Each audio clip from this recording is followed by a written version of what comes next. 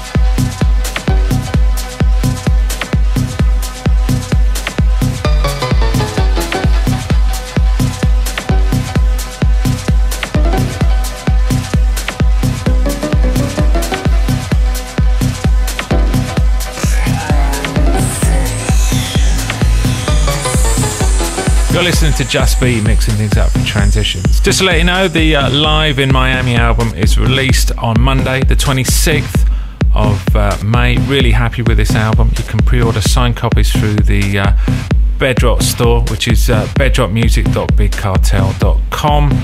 Uh, the album has uh, three CDs uh, really capturing the live atmosphere from the legendary Vagabond Club in downtown Miami. I think you guys are going to like this one. Uh, it's very different from their previous albums. Uh, I dug into my crate a little bit and pulled out some uh, classic tracks. As I knew it was going to be the last night, uh, I definitely wanted to make it special for everyone there, and I think it's translated really well to uh, people listening to it at home as well. So that's uh, live in Miami, released on Bedrock Records, Monday the 26th of May.